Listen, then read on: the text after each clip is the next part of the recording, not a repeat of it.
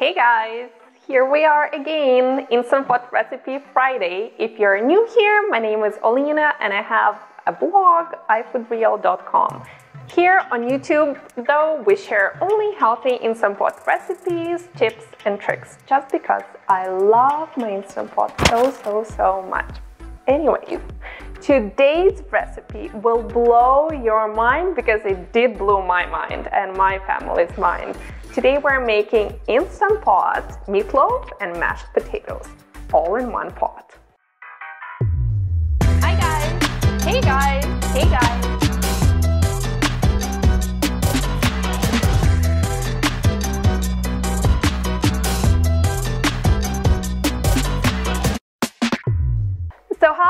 Are we gonna do that? With a help of this magic set of bowls. So these are basically two stainless steel bowls with one lid and a trivet.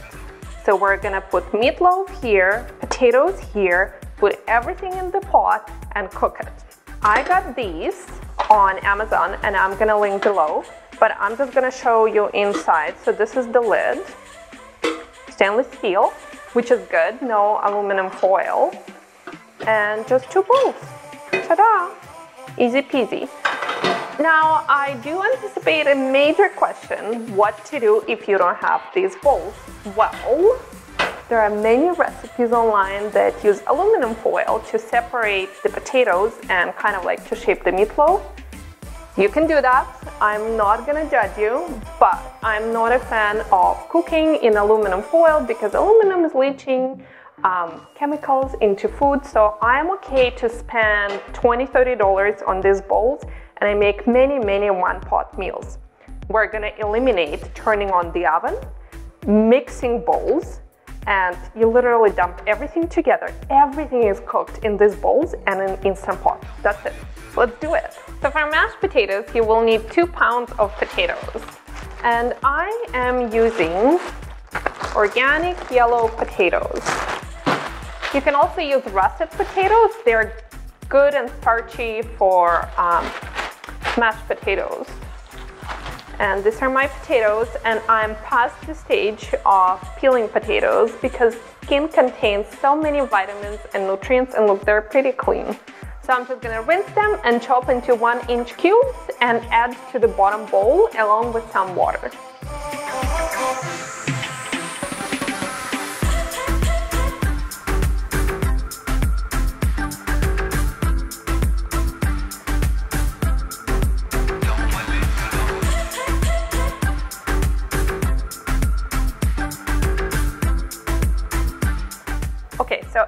Potatoes to the bottom bowl and make sure it fits on top. See how I have a little bit too many potatoes. So what I'm gonna do is I'm gonna take some into the bowl and pour some cold water on them and refrigerate um, and use in a different recipe.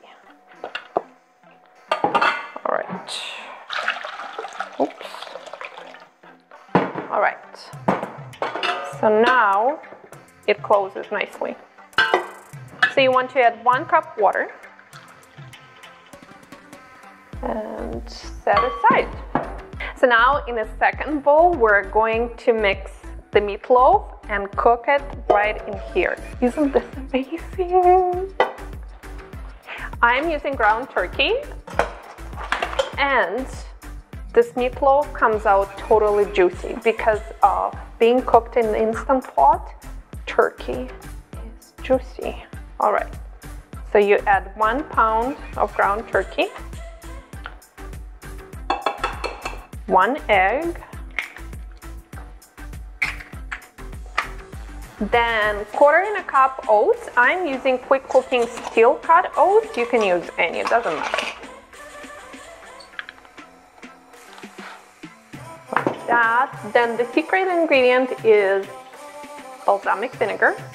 It adds a nice zip and taste and flavor to bland turkey. It's good. I add it to all my meatloaves. So about one teaspoon, one, two teaspoons. All right. And now we just add spices. So here I have dried oregano, dried thyme. You can use basil, rosemary. I've done all. Um, garlic powder, salt, and pepper. Easy peasy. All right, I think that's it. Now you remove the rings and really get in there and just mix everything and shape it into a meatloaf shape, either round or the regular oval, whatever you like.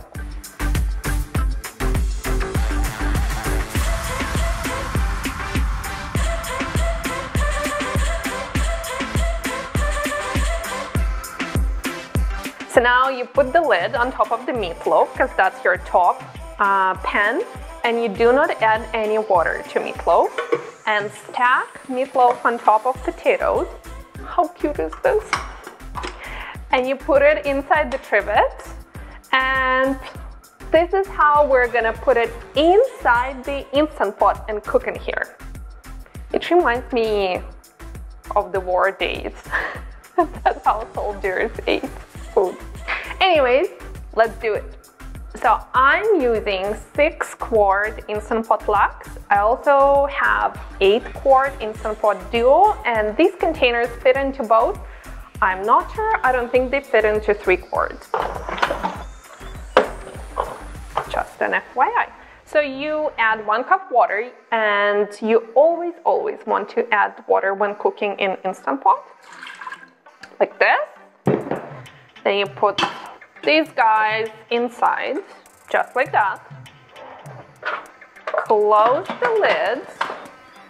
Always make sure to move the valve to sealing and then we're gonna pressure cook on high pressure for 25 minutes or on Lux, it means manual uh, button because Lux cooks only on high pressure.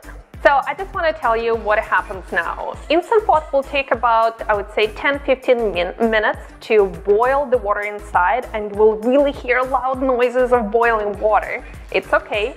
Then it will come to pressure and the pin will pop up. And a warning on Lux, it looks like there is no pin, but actually it is there. And then once Instant Pot is up to pressure, the countdown from 25 minutes will begin and after that, your Instant Pot meatloaf and mashed potatoes are almost ready. We're gonna do quick release because I don't have time to wait for natural release and it's not necessary. So Instant Pot finished cooking. Now we need to release pressure using the quill. So now put the glove on and open the lid and remove pot onto a towel or a rack holding onto a trivet. And I also like to do drain water a little bit like this.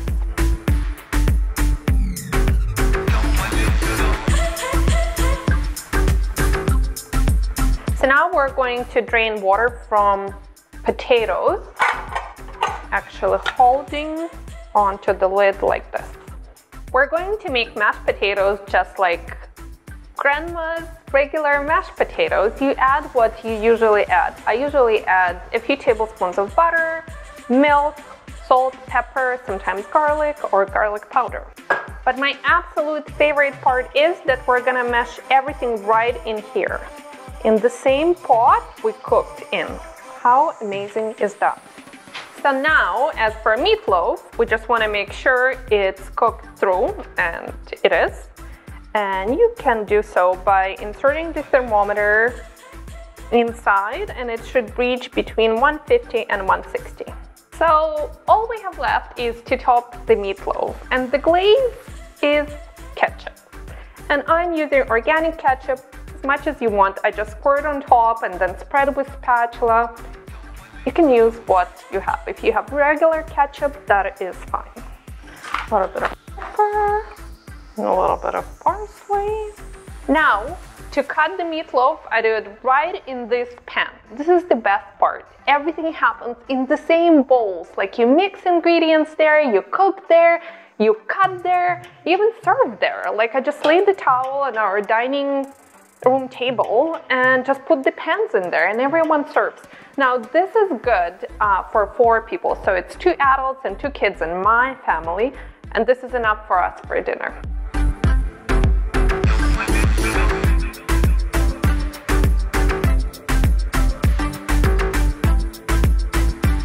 And now, there is another good part about Instant Pot.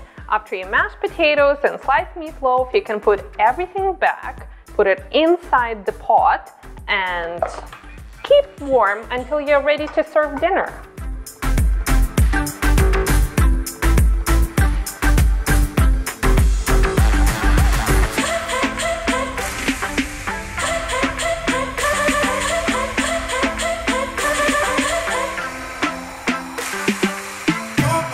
And now we need a Russian guy to test our meat and potatoes on. Yeah. Okay. All right, To the point. cut. Do it. Ready? Uh, a little bit potatoes too. Can I eat meat first? Yeah.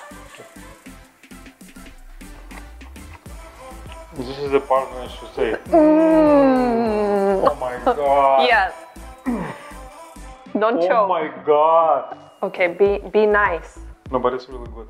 Um, the meatloaf comes out. If you're wondering, the turkey comes out super juicy because mm. everything is locked in, so the moisture doesn't evaporate. So don't worry. Juicy turkey, juicy meatloaf, ketchup on top, mashed potatoes, literally. And you spend how many minutes? Ten doing everything, and how many bowls? Mm. Two. It's the best. This is the only way I'm gonna make meatloaf and mashed potatoes until kids grow up. And even then, I don't know. From now on. Anyways, if you enjoyed this video, give us thumbs up below, subscribe right there, and come back next Wednesday and Friday, and we'll see you next time. Wednesday tips, Friday recipes. He does better job at this. Bye guys. bye. Okay, stop. This is dinner. Mm, was good. Thank you.